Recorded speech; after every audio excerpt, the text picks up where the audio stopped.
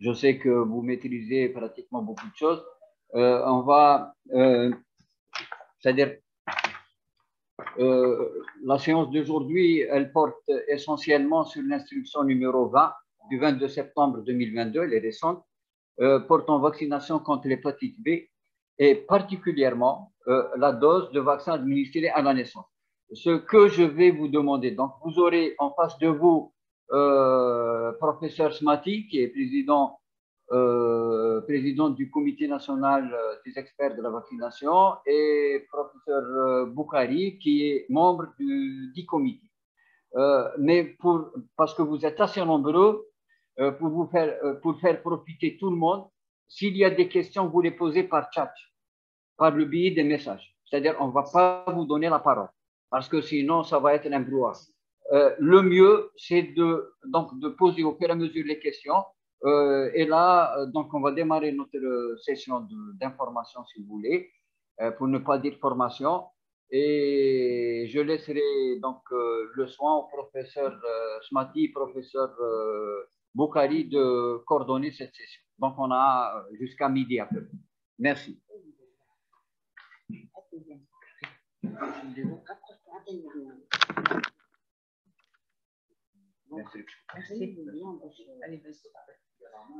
Bonjour. Bonjour à tous. Alors, il nous, manque juste le temps de partager l'écran, la communication. On va le faire là. Et on va démarrer un petit peu euh, la présentation. Alors, deux minutes avant de partager. Oui, je vais la monter, justement que je veux vous faire.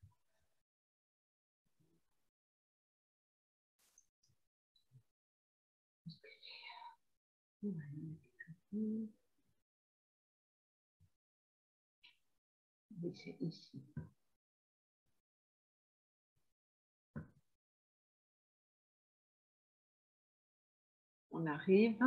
Vaccination hépatite B. C'est vaccination hépatite B visioconférence. Je la mets sur le bureau? Donc on voit, voilà, c'est Je la mets sur le bureau, alors je laisse juste ouverte. C'est voilà. Très bien. On est là, on arrive. Hein. Donc, envoyez vos questions. Nous sommes sur deux, deux, deux PC et on prendra l'intégralité des questions qui se posent. Et en tout cas, euh, voilà, il faut qu'aujourd'hui, on, on parte de là avec euh,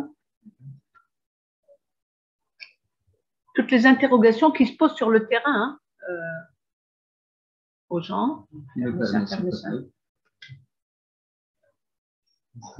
Voilà, vaccination hépatite B, visio, fermez ça s'il vous plaît. Donc on le met en mode visio. Voilà. En bas de... Très bien, c'est bon, c'est fait.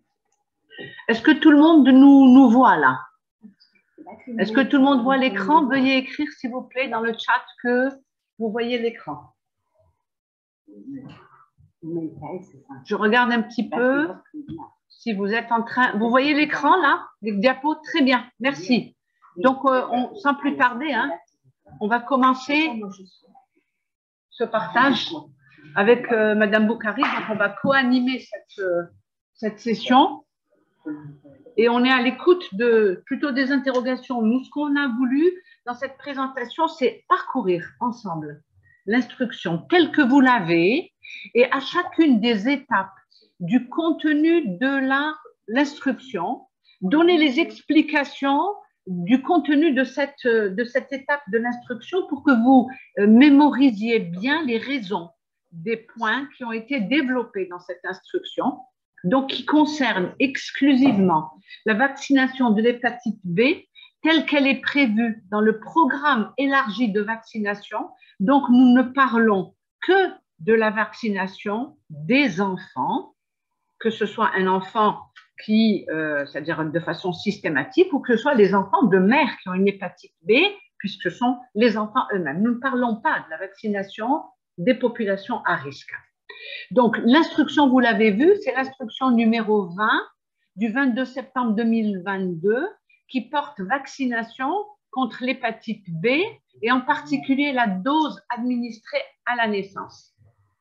Alors, ce que le point de départ, le, départ des instructions qui ont fait référence à la vaccination d'hépatite B, c'est la note d'abord du numéro 22 du 24 juillet 2013. Donc, vous voyez, hein, ça a 10 ans, la première fois qu'on a commencé à faire des notes pour parler de la prévention de la transmission du virus de l'hépatite B de la mère à l'enfant. Il y a eu cette note-là. Et cette note-là, elle a été consolidée et appuyée par ce qui est venu trois ans après. C'est l'instruction numéro 15 du 11 septembre 2016 relative au renforcement du programme de prévention et de lutte contre les hépatites B et C qui s'est joint à l'hépatite B. Pour ce qui nous concerne, concernant les hépatites, nous n'allons parlé que de l'hépatite B, même s'il y a deux hépatites qui ont des vaccins, la A et la B, nous n'avons pas le vaccin de la A, donc nous allons parler de la vaccination de l'hépatite B. Donc quand on déroule l'instruction, j'espère que j'ai la main pour avancer, ben non, voilà. Donc on voit quels sont les destinataires.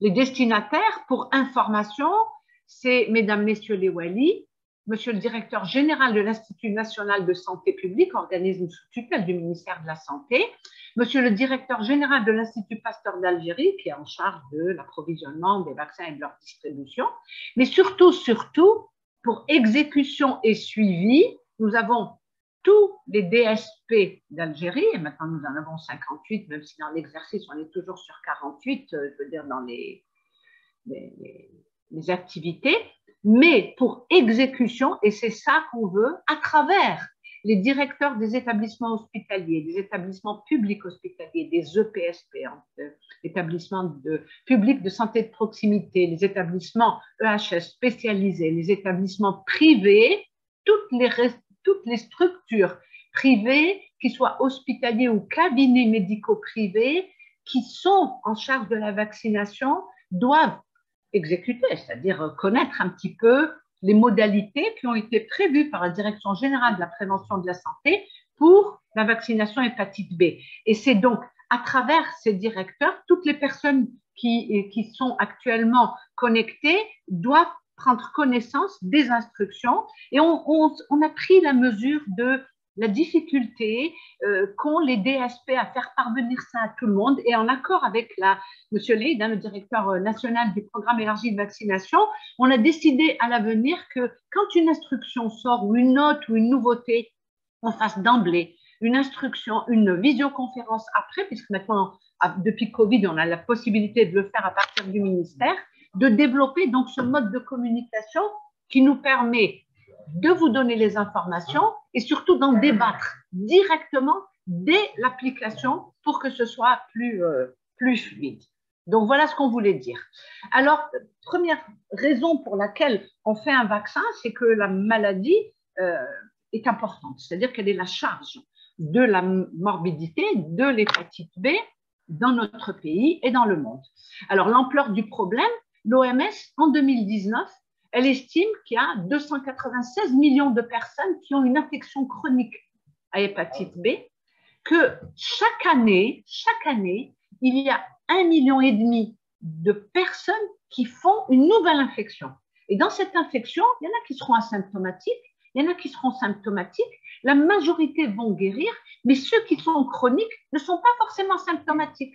Et pourtant, à toutes les étapes, dès qu'on est infecté, qu'on ait des signes, qu'on n'ait pas de signes, que ce soit aigu, que ce soit chronique, on peut transmettre et on est contagieux. Donc, il faut mesurer que chaque fois, un million et demi de personnes peuvent contaminer les autres. Et pour éviter que les personnes vulnérables ne soient contaminées, il faut qu'elles soient vaccinées. Donc, voilà pourquoi l'ampleur du problème. Et enfin, pour mesurer un petit peu le poids de la maladie, on a l'habitude, pour l'hépatite B, de décrire les complications ultimes pour lesquelles on vaccine on vaccine pour éviter, c'est un vaccin contre le cancer, c'est-à-dire le carcinome hépatocellulaire, qui fait suite à quoi? Au passage à la chronicité, au développement de la cirrhose et au carcinome. Donc, quand on vaccine un bébé qui a un an, c'est pour le prévenir et le renforcer son immunité pour qu'à l'âge de 25, 30 ans ou plus, il ne fasse pas cette complication. Donc, voilà quelle est l'ampleur du problème. C'est ça. Et que la charge de cette morbidité qui est associée au virus de l'hépatite B, c'est surtout les infections chez les nourrissons, quand ils sont contaminés très tôt dans la vie, on va le revoir sur l'histoire naturelle de la maladie, que plus tôt on est contaminé, plus le risque est grand de passer à la chronicité et surtout donc de faire la complication finale qui est la cirrhose et le carcinome hépatocellulaire. C'est pour cela que l'OMS maintenant, elle décrit un petit peu l'ampleur et le poids du virus de l'hépatite B à l'échelle mondiale comme une épidémie silencieuse. Et elle est d'autant plus silencieuse que nous, on l'a dit dans notre instruction, c'est que nous ne connaissons pas le statut sérologique des femmes qui viennent procréer et des femmes enceintes. Donc, quand une maman vient accoucher, on ne sait pas si elle a le virus de l'hépatite B ou non. C'est pour cela qu'il y a une disposition particulière pour les nouveau-nés qui naissent de mère, dont on connaît le statut, ou alors les nouveau-nés à risque quand on ne connaît pas le statut des mamans. En rappelant que l'hépatite B, eh ben, elle peut être prévenue parce que quand on a fait le vaccin, quand on a fait les trois doses que recommande l'OMS, ces vaccins sont sûrs. Ce sont des vaccins vraiment purifiés, faits par génie génétique. Ils sont efficaces parce qu'ils sont protecteurs et surtout, il est disponible dans notre calendrier. On va voir que ça fait 20 ans que cette vaccination est inscrite dans notre calendrier de vaccination. Alors, quelle est la prévalence de la maladie? Ben, La prévalence de la maladie, euh, elle est très hétérogène et on a l'habitude de décrire des pays à faible prévalence, à moyenne prévalence et à forte prévalence. Et l'Algérie fait partie des pays à moyenne prévalence. Et pour rester sur euh, nous, ce qui nous concerne, on voit qu'en Algérie, ce qui est identifié par l'Institut national de santé publique hein, dans ce relevé que nous avons euh, de façon mensuelle de l'INSP qui date de 2017, mais euh, qui doit bien représenter la vérité de ce qu'on a pu déclarer. Donc, et on sait qu'en matière de déclaration, on est très en deçà de la réalité. Il y a 1300 à 1500 cas d'hépatite B qui sont déclarés annuellement. L'Algérie, on est en période de moyenne prévalence et quand on voit un petit peu la prévalence qui est évaluée sur cette période-là de 17 ans, entre 2001 et 2017, par l'Institut national de, santé publique, eh bien, l'incidence de la maladie, c'est 7,6 cas pour 100 000 habitants. Donc, c'est pour ça qu'on est en moyenne prévalence, puisque ça va jusqu'à 8, la moyenne prévalence. Il n'y a pas de son Ah, d'accord. Très bien. Donc, euh, c'est très bien. Donc, on va reprendre un petit peu. Est-ce que on va vous regarder à travers le chat, s'il vous plaît? Vous dites, il n'y a pas de son, il n'y a pas de son, il n'y a pas de son. Donc là, on va appeler l'administrateur pour qu'il nous dise. Je vais désactiver, réactiver et voir si... Pouvez-vous nous confirmer que maintenant, il n'y a pas de son? Parce que Mme Boukari, qui est connectée à côté, elle me dit qu'elle, elle entend. Est-ce que maintenant, vous nous entendez ou non? On a le son. Il y a le son. Il y a le son? Donc, on peut continuer. C'est bon. Merci. Merci. Donc, on situe un petit peu l'ampleur. On est moyenne prévalence, mais on peut prévenir. Donc, il faut que, obligatoirement, on puisse accéder à cette vaccination. Alors, regardez quand on reprend l'histoire naturelle hein, de, la maladie, euh, comment ça se passe? Quand on a eu le virus, eh bien, on fait une hépatite aiguë. Après la contagion, on a une période d'incubation, regardez, pour ce virus qui peut aller de 40 à 180 jours, donc très très longue. Ça veut dire que c'est une situation à risque qu'on a eue. De toute façon, on va voir les modes de contamination de l'hépatite B, ce n'est pas euh, la voie aérienne ou autre chose, c'est d'autres voies de contamination. Quand on a été contaminé, eh ben, pour faire la maladie, il y a une période d'incubation qui peut être longue. Quand on a une hépatite aiguë, B, Comment ça se profile sur le plan de l'évolution? Eh bien, trois quarts des personnes n'ont aucun symptôme, mais elles sont contagieuses. Attention, elles n'ont pas de symptômes, mais elles sont contagieuses. Que 30% d'entre elles vont avoir des symptômes d'ordre très différent. Il y a 1% malheureusement qui vont faire une forme fulminante et que sans transplantation hépatique, eh ben, le devenir c'est le décès hein, d'une forme fulminante, il n'y a pas une autre façon. Quand on a fait une forme d'hépatite aiguë, qu'elle soit asymptomatique ou symptomatique, si on a survécu, Eh bien, dans l'immense majorité des cas, c'est-à-dire 90 à 95% des cas, la personne va guérir. Et guérir, ça veut dire qu'elle va éliminer le virus de l'hépatite B dont le support est l'antigène HPS, qui va se négativer, et que la personne, elle va développer deux anticorps, un anticorps contre le virus, l'anti-HBS, et surtout l'anticorps anti-HBC, qui est le témoin de cette guérison. Pour les personnes qui ne vont pas guérir, c'est-à-dire 5 à 10% eh ben, elles vont porter le virus de façon prolongée parce qu'elles ne l'ont pas éliminé et elles vont le garder, donc elles vont rester antigènes HBS+, et donc on va dire qu'elles sont porteuses chroniques de ce virus de l'hépatite B. Dans ce portage chronique qui est toujours contagieux, on est d'accord, les personnes là, elles vont être, euh, c'est-à-dire possiblement contagieuses en fonction de l'importance de l'antigène, un tiers vont juste porter le virus sans modification pour elles.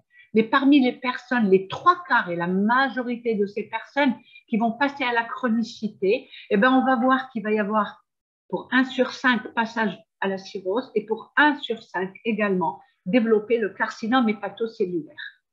Ça, c'est l'histoire naturelle de la maladie. Mais on n'est pas égaux dans la vie, dans cette histoire naturelle, et tout le monde ne fait pas la même évolution.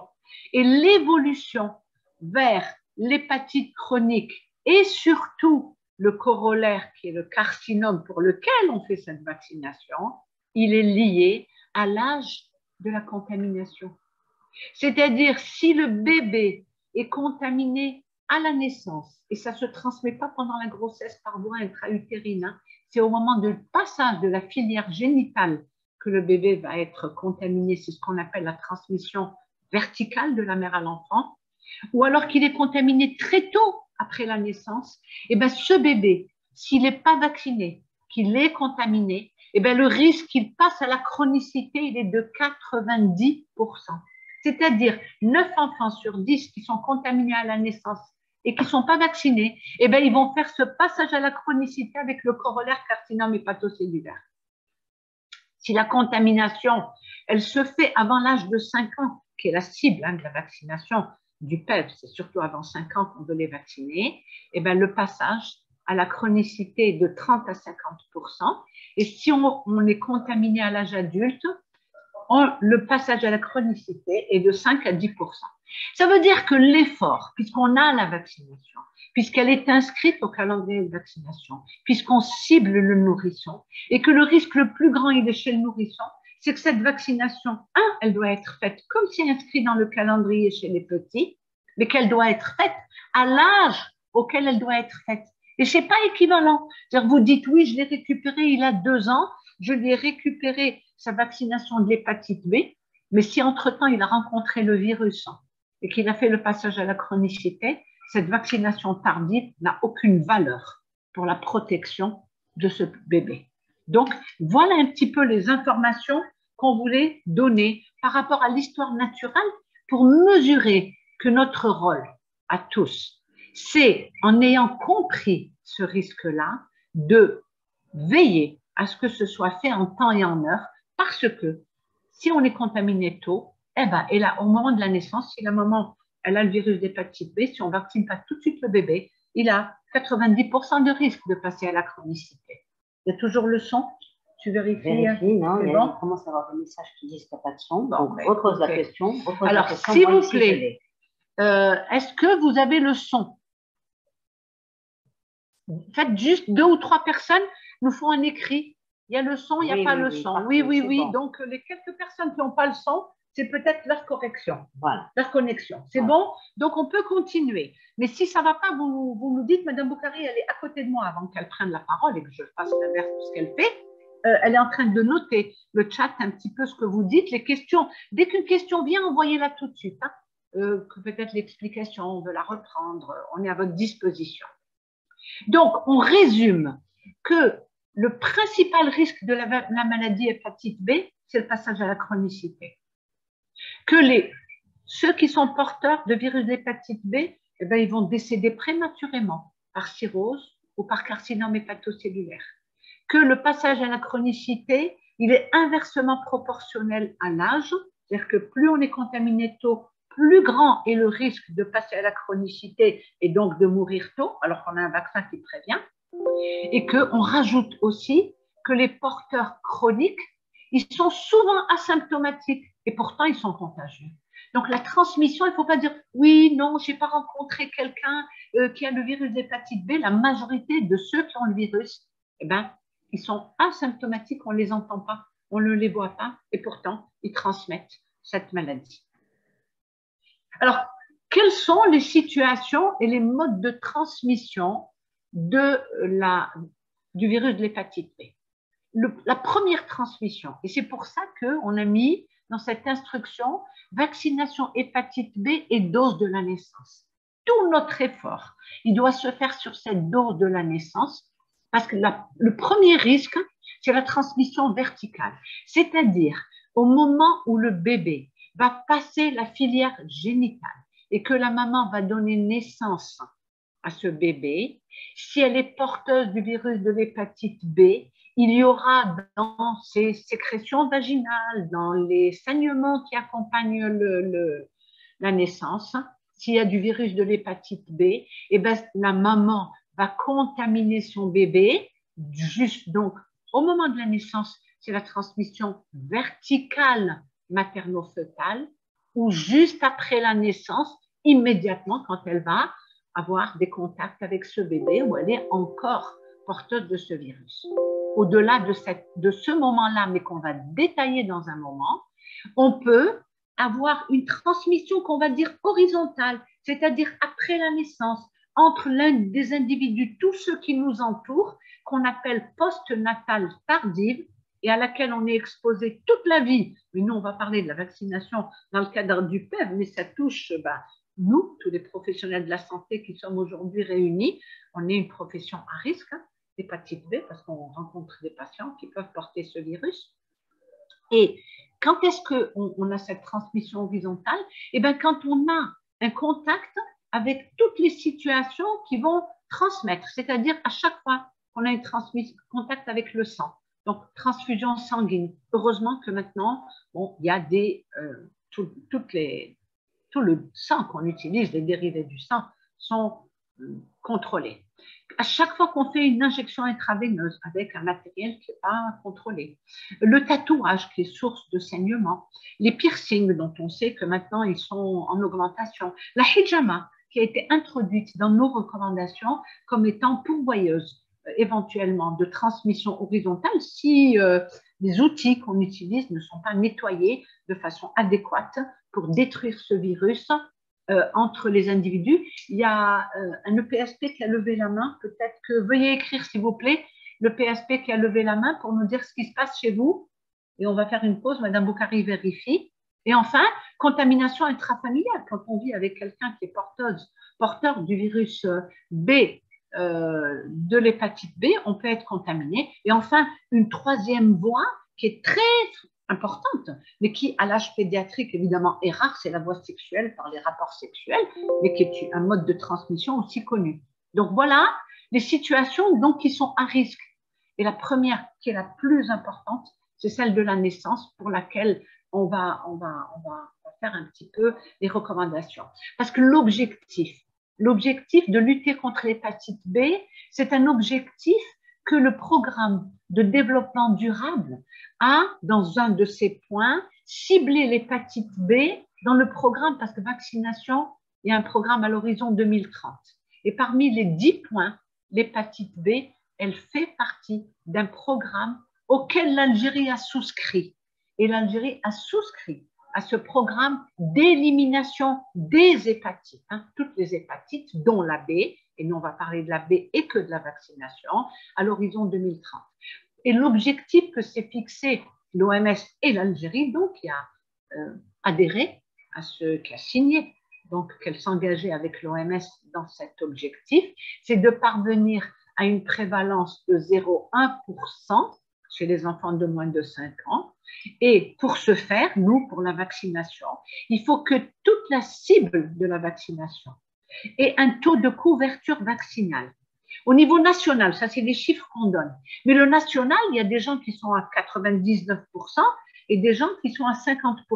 Non, on a ajouté qu'il faut qu'il y ait un taux de couverture vaccinale national, mais que chaque wilaya, donc chaque DSP, doit, dans son effectif et sa couverture, avoir 95% de la population qui est ciblée par la vaccination, qui a été vaccinée.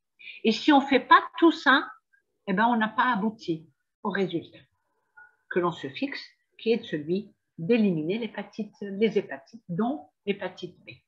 Alors, je vais poursuivre avant de passer la parole à Madame Boukari, en rappelant que ça, c'est ce que vous connaissez, que la vaccination, on a des étapes dans notre calendrier et qu'à chacune des étapes qui sont ici, on a introduit un nouveau vaccin. Et que pour l'hépatite B, ben, l'arrêté est daté de 2000, mais l'application de la vaccination contre l'hépatite B, c'est le 2 janvier 2003. Et on a inscrit ça uniquement en activité de routine. Ça veut dire qu'on n'a pas du tout fait de rattrapage et que donc sont protégés contre l'hépatite B s'ils ont eu leur vaccination en temps et en heure et qu'ils ont eu les trois doses que recommande l'OMS que les personnes qui ont moins de 20 ans. Parce que les autres n'étaient pas inscrites dans le calendrier. La vaccination, n'était pas encore obligatoire chez nous. Ça veut dire que les mamans qui viennent accoucher, sachant que l'âge du mariage, c'est à peu près 30 ans. Donc, les mères qui viennent accoucher, eh ben, elles ne sont pas vaccinées. Elles ne sont pas protégées, sauf si elles ont eu la vaccination pour une raison très personnelle. En tout cas, dans le PEV, elles ne sont pas protégées. Et que si on ne sait pas si elles sont porteuses ou non du virus de l'hépatite B, eh ben, le bébé est à risque d'avoir cette contamination. Donc voilà qu'est-ce qu'on a dans notre calendrier comme vaccin. On a la vaccination. Je rappelle simplement qu'on a grisé la, la, dose du vaccin polio oral, puisque j'espère que tous les gens ici présents ont reçu cette note de juin 2021, donc elle a 15 mois, 16 mois, on a supprimé la dose du vaccin polio de la naissance. Pour revenir à notre schéma, qu'est-ce qu'on a comme vaccination contre l'hépatite B? On a la dose de la naissance, puis en vaccin monovalent, c'est-à-dire il est dans une seringue seule, et on l'a choisi dans la seringue seule pour que personne n'ait de, de, c'est-à-dire de, de, raison de dire je vaccine pas, c'est une seringue qui est seule. Donc tous les bébés quand ils naissent, il faut qu'ils aient leur vaccination. Et après, dans la vaccination à deux mois, à quatre mois et à 12 mois, on a la vaccination de l'hépatite B qui est ici en violet et qui est combinée un vaccin diphtérie, tétanos, coqueluche et hémophilus influenzae B, soit dans un penta, 5 valents, 4 valents, voire un 6 valents, ce qui va venir probablement prochainement. Donc, on a quatre doses. Alors, ces quatre doses, c'est notre choix de notre calendrier.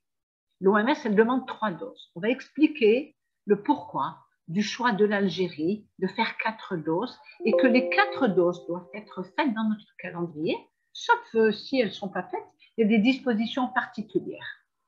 Donc, voilà ce que nous avons dit dans notre calendrier sur la dose de la naissance. C'est conformément au calendrier vaccinal, ça c'est l'écrit de l'instruction que vous pouvez lire. Donc, on vous en fait la lecture. Tous les nouveau-nés doivent recevoir les vaccins de la naissance, notamment le vaccin de l'hépatite B. Et donc, maintenant qu'on a enlevé la polio, c'est le BCG. Dans les 24 heures qui suivent la naissance. Et cette vaccination à la naissance, c'est une mesure qui est efficace pour réduire la transmission verticale de la mère à l'enfant. Et que donc, si on doit la faire, il faut la faire dans les 24 heures. On va expliquer pourquoi. Et qu'on rajoute que si cette vaccination, pour des raisons exceptionnelles, et ça doit être une exception, les recommandations internationales de l'OMS, du CDC, ils disent que l'efficacité, elle diminue. Donc, nous, on doit se fixer que ça doit être fait avant 24 heures. On a le vaccin monovalent et il faut que le bébé, et s'il dit, il sort à 6 heures, et eh bien avant qu'il sorte, à la sixième heure, il est vacciné. En tout cas, si exceptionnellement c'est passé, l'efficacité, elle va diminuer, mais que quand même, on va jusqu'à 7 jours rattraper cette dose de la naissance qui reste efficace pour protéger ce bébé contre ce qu'il peut avoir juste après la naissance et que ça reste bénéfique. Donc ça, c'est ce qui est dit dans notre instruction contre la vaccination. Et avant de passer la parole à Madame Boukari, voilà ce que nous avons dit, c'est que le comité technique de vaccination, il a noté dans l'instruction numéro 20 que vous avez qu'il faut respecter toutes les vaccinations de la naissance, c'est-à-dire le BCG et l'hépatite B dans les 24 heures qui suivent la naissance. C'est ce qui est écrit dans l'instruction telle que nous l'avons donnée, en rappelant que ce vaccin, s'il n'a pas été fait, il peut être co-administré avec toutes les autres vaccinations. Donc, il n'y a pas, il n'y a pas de contre-indication à associer le vaccin de l'hépatite B avec quelques vaccins de notre calendrier. Tous les vaccins de notre calendrier peuvent être faits de façon euh, concomitante, c'est-à-dire le même jour, et donc co-administré avec le vaccin de l'hépatite. Maintenant, je vais passer la parole à Madame Boukari pour qu'elle nous donne, elle vous donne la suite s'il y a eu un retard et surtout le bébé de mère hépatite B. Voilà. Donc, moi, je reprends, elle a, noté les questions, je prends la suite de, Et donc, elle va vous parler, tu parles ici, Ok, bonjour. Donc, on va poursuivre cette présentation de, l'instruction. Alors, euh, dans la présentation pour l'instruction, euh, Madame Smati, je reviens juste un petit peu en arrière, a bien expliqué que dans toutes ces situations, le retard vaccinal doit être absolument exceptionnel. Cette ouverture qui est faite pour dire qu'on peut utiliser faire la dose de la naissance au maximum avant le septième jour ne doit pas être une porte ouverte sur euh, admettre et euh, euh, accepter ce retard vaccinal. Le retard vaccinal doit rester vraiment l'exception. Et donc, elle vous a expliqué que justement, cette dose doit vraiment être administrée à la naissance et on va détailler un petit peu parce qu'à la naissance, c'est avant la 24e heure et qu'au-delà de cette période-là, l'efficacité diminue de jour en jour. Et on admet que jusqu'à 7 jours, il reste encore une certaine euh, protection contre euh, la transmission périnatale. Au-delà de 7 jours, il n'y a pas de protection et à ce moment-là, euh, euh, euh, on considère que cette dose n'a pas été administrée.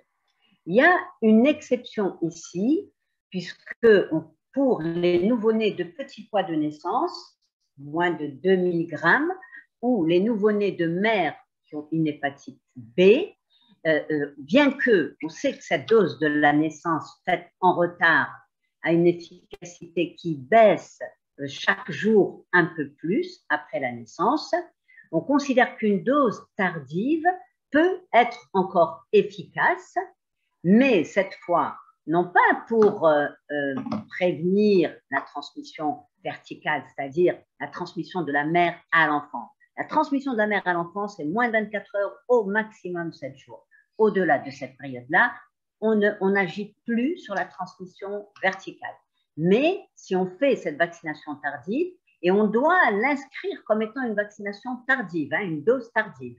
À ce moment-là, ça peut prévenir la transmission horizontale et il reste, ça reste avantageux euh, dès lors que cet enfant va avoir un contact avec une structure de soins et cela jusqu'à l'âge de un mois au maximum.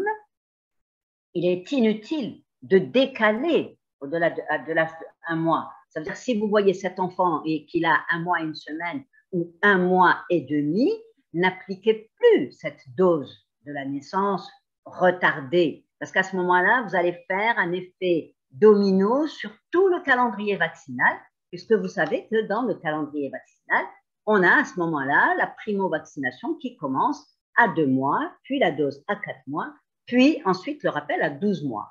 Donc, si vous êtes en deçà de un mois, oui. Si vous êtes au-delà de un mois, attendez de vous aligner sur le calendrier vaccinal et la première dose à euh, deux mois. D'accord?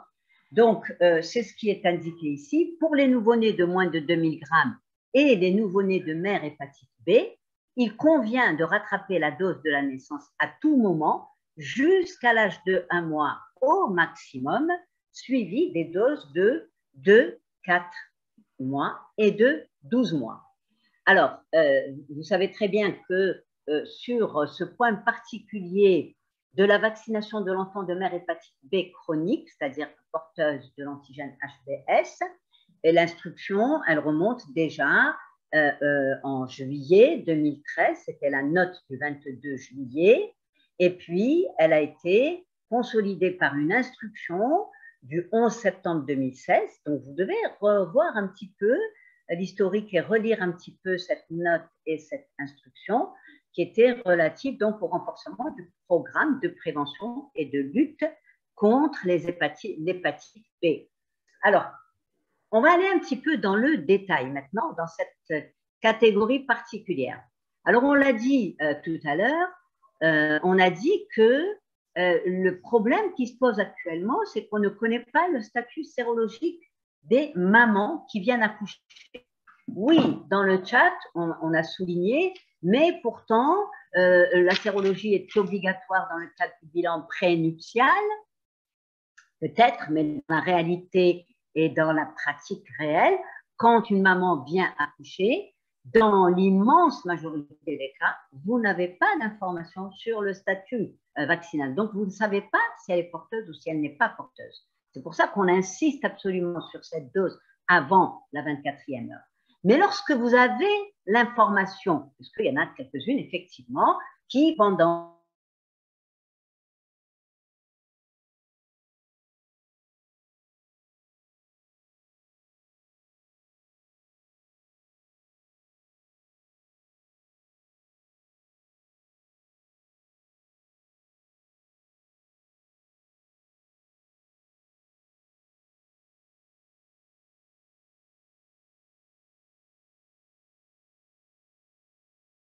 heures qui suivent la naissance et il faut à la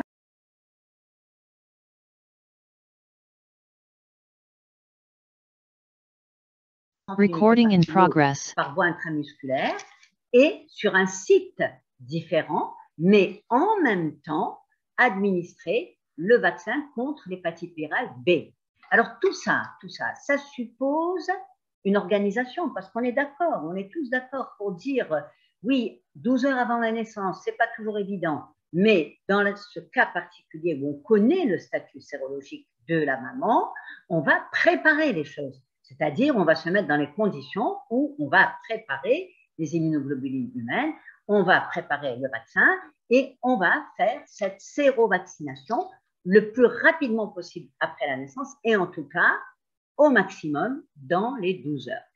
Et puis ensuite, après cette vaccination, et cette sérovaccination, ça veut dire qu'on va donner euh, au bébé le maximum de chances euh, de ne pas être euh, infecté par le virus de l'hépatite B. Et puis ensuite, on va poursuivre évidemment le calendrier vaccinal avec la dose de 2 mois, la dose de 4 mois et la dose de 12 mois. Alors, dans l'instruction, il est dit que la réponse vaccinale à cette, euh, euh, à cette vaccination doit être systématiquement évaluée pour ces bébés nés de mère HPS positive entre 1 à 4 mois après la dernière dose vaccinale reçue. Il faut s'assurer que effectivement euh, ce bébé est bien protégé et qu'il a un taux d'anticorps anti-HPS supérieur à 10 millions d'unités internationales et on considère que c'est la dose qui est considérée comme protectrice.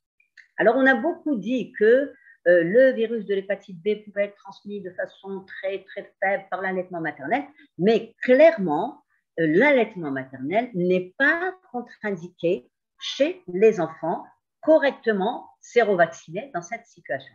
Donc ici, vraiment, le challenge, le défi, c'est de se mettre, euh, de, réunir toutes les conditions pour que cette sérovaccination soit faite dans les 12 heures euh, euh, qui suivent la naissance. Alors, il y a une question dans le chat sur la durée de la protection par la vaccination contre l'hépatite B.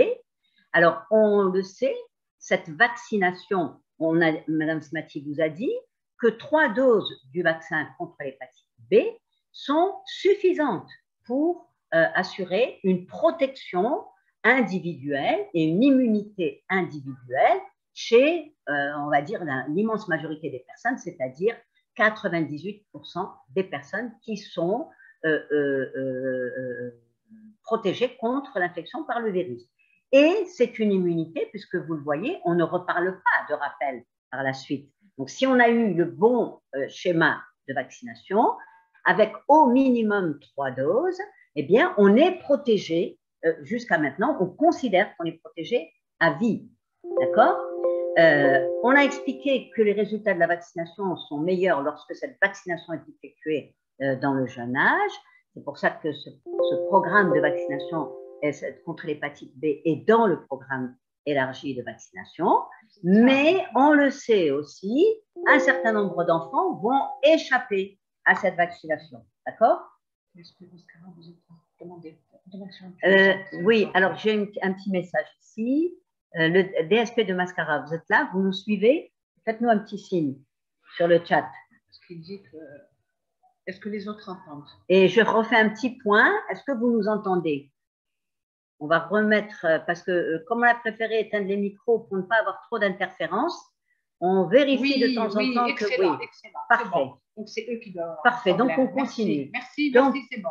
Donc on a, on, a, on a bien compris que c'est une protection à vie si la vaccination est faite correctement.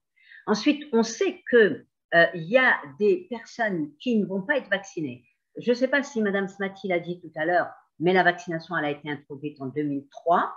Euh, on avait un taux de couverture vaccinale qui était excellent jusqu'à, euh, on va en reparler dans quelques minutes, jusqu'à récemment. Et donc, on considère qu'aujourd'hui, tous ceux qui sont âgés jusqu'à 20 euh, ans, on va dire approximativement, sont protégés contre l'hépatite B. Mais il va rester les personnes de plus de 20 ans qui ne sont pas protégées. Alors, est-ce que ça veut dire que, vous savez, vous savez très bien que l'Algérie, elle a toujours prôné euh, la vaccination par cohorte et elle n'a pas fait de, euh, euh, comme on dit, de rattrapage vaccinal. C'est-à-dire qu'au moment où on a introduit la vaccination, on n'a pas dit on va rattraper ceux qui ont moins de 5 ans, etc. Donc, il y en a un certain nombre qui ont peut-être échappé. Et en tout cas, tous ceux qui sont âgés de plus de 20 ans, s'ils ne font pas partie des populations à risque dont on parlera tout à l'heure, n'ont pas eu cette vaccination, donc sont susceptibles éventuellement euh, d'être contaminés par euh, le virus de l'hépatite B. Alors, pour ceux qui sont en âge d'être vaccinés et qui n'ont pas été vaccinés, eh bien, il faut savoir qu'il n'est jamais trop tard pour rattraper une ou plusieurs vaccinations. Il faut partir du principe que euh, trois doses suffisent et qu'il faut respecter l'écart entre les doses. C'est-à-dire que normalement, entre la première dose et la deuxième dose, on doit respecter un intervalle d'au moins un mois. Et entre la deuxième dose et la troisième dose, qui est un rappel, on doit respecter un intervalle qui peut être diminué à quatre mois, mais idéalement qui est de six mois. Donc, il faut faire ce rattrapage en tenant compte de ces, euh, règles qui sont euh, bien établies. Alors, pardon, il y a une question là, puisque tu en parles, on, pose la question tout de suite. Quelqu'un a dit si je, il y a eu un retard, c'est moins de 2000 grammes et en compte de mes hépatite B, que j'ai rattrapé un mois, est-ce que la dose de deux mois, je la décale ou non? Non. Eh ben voilà. Alors, c'est pour ça que on a dit, on rattrape jusqu'à un mois. Mais vous savez que vous êtes dans une situation là, par contre, qui est très embêtante parce que c'est un enfant nouveau-né de mère hépatite B euh, il a potentiellement, et même de façon euh, très risquée, été contaminé. Vous avez fait une dose qui est euh, dans le mois, dans le mois. Ça veut dire que vous n'avez pas, vous n'avez pas protégé la période périnatale, mais vous allez encore faire cette dose jusqu'à un mois parce que c'est déjà une première dose pour la transmission horizontale, c'est-à-dire pour la suite chez, ce bébé-là. Mais et on vous a bien expliqué que cette dose ne devait pas aller au-delà de un mois. À un mois, OK. Au-delà de un mois, je vais aller vers le calendrier normal. Et chez ce bébé-là, je vais prendre la vaccination à deux mois. Ça veut dire que j'aurais bien respecté l'intervalle de quatre semaines entre cette dose qu'il a reçue juste avant un mois et le début de sa vaccination euh, à deux mois. Alors, le but de la vaccination, on l'a dit, c'est d'avoir une bonne couverture vaccinale. Une bonne couverture vaccinale, et pour nous, la bonne couverture vaccinale, c'est supérieur à 95% de la population cible. Et cette bonne couverture vaccinale, elle va contribuer à mettre en place une immunité euh, collective et à protéger euh, les autres personnes. Alors, revenons un petit peu maintenant justement sur cette euh, couverture vaccinale. Alors, vous savez, jusque dans l'enquête mixte qui a été réalisée en 2018-2019, euh, on avait un taux de couverture vaccinale qui était excellent pour, euh, on va dire, l'ensemble des, euh, antigènes du PEV. Et donc, cette enquête réalisée en, 2019, fin 2018-2019, eh bien, on s'est aperçu que quand on regardait la tranche d'âge des 12-23 mois, on avait une couverture vaccinale qui était de 85% pour la première dose et donc, euh, comme on le fait en même temps que le DTC-IB, donc ça nous donne aussi la couverture du DTC-IB HBV, 85%, alors qu'on était plutôt dans les supérieurs à 95%. Pour la deuxième dose, la couverture vaccinale était à 81,8, donc on va dire 82%. Et alors, pour la troisième dose, on est seulement à une couverture vaccinale de 52,2, 58,2%. Donc, une chose est claire, Ça, on est juste avant le Covid ou la Covid. Et on est déjà avec une couverture vaccinale qui a fortement baissé pour euh, euh, la, protection euh, vis-à-vis de la transmission horizontale, c'est-à-dire l'acquisition de l'infection hépatite B qu'on peut avoir au cours de la petite enfance. Si on regardait la couverture vaccinale de la dose à la naissance dans cette enquête, eh bien, on trouvait une couverture vaccinale de 97%. C'est le cas de tous les vaccins qui sont administrés à la naissance. Si vous regardez la couverture vaccinale pour le BCG, on est dans ces, pourcentages. Et donc, l'hépatite B, on était aussi dans ces pourcentages. Seulement, cette couverture vaccinale de la dose effectuée à la naissance ne nous dit absolument rien du moment auquel est réellement faite cette vaccination. Donc, on dit dose à la naissance, mais nous, tout le monde dans son expérience l'a bien remarqué et l'a bien noté, beaucoup d'enfants sont vaccinés après la sortie de la maternité. Donc, ça s'appelle plus une dose de la naissance. Donc, elle n'a plus son euh, caractère de protéger la transmission périnatale parce que cette dose à la naissance, elle a été mise parce qu'on ne connaît pas le statut des mamans. Et donc, on se donnait le maximum de chances de protéger tous les bébés. Donc, quand on dit 97% à la naissance, en réalité, on ne sait pas si vraiment cette vaccination a été faite dans les délais, moins de 24 heures, ou si elle a été faite le lendemain ou à une semaine, etc. Donc, euh, ça, voilà, on va rappeler encore que, l'OMS l'a redit à plusieurs reprises et même encore récemment euh, les dernières réunions du SAGE pour euh, recommander à tous les pays et à tous les programmes nationaux d'inclure une dose de naissance de ce vaccin monovalent à faire dans les 24 heures. Voilà, c'est la meilleure façon de entrevoir un avenir sans hépatite et que euh, cette stratégie de prévenir la transmission de l'hépatite B de la mère à l'enfant, c'est la stratégie centrale en plus de la vaccination après dans le programme élargi vaccinal, bien sûr, pour combattre la maladie et sauver des vies. Alors, cette stratégie, elle a été fortement, euh, on va dire, ébranlée, et vous le savez, dans le monde entier, euh, euh, en raison de la pandémie de Covid-19. Parce que cette pandémie de Covid-19 a fortement déstabilisé les services de vaccination, l'accès euh, à la vaccination et, euh, au même titre que les autres vaccinations, l'accès à la vaccination contre l'hépatite B. Donc, il va falloir, c'est pour ça que cette instruction qui vient maintenant, Elle est là pour vraiment, vraiment remettre, euh, repartir sur le bon pied. Oui, alors il y a une personne qui a levé la main. Est-ce que vous voulez plutôt euh, nous donner votre question? Parce qu'on ne pourra pas vous donner la parole. Par contre, vous pouvez noter votre question dans le, dans le chat. C'est euh, le HS Mère-Enfant de Mascara. Alors, on est d'accord parce que j'ai vu dans le chat aussi qu'il y a beaucoup de questions qui reviennent sur les aspects, les aspects organisationnels. Parce que c'est ça.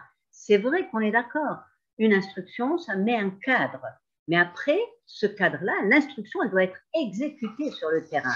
Et comment faire pour que cette instruction soit exécutée sur le terrain quand on sait que oui, c'est vrai, euh, la plupart des bébés, lorsque l'accouchement se passe bien et qu'il n'y a pas de, c'est pas une grossesse à risque, il n'y a rien de particulier, la sortie est précoce, quelquefois avant la sixième heure, euh, souvent avant la 24e heure, et que donc il faut que euh, ben, chaque structure doit organiser l'implémentation de cette vaccination en fonction des contraintes qui sont locales.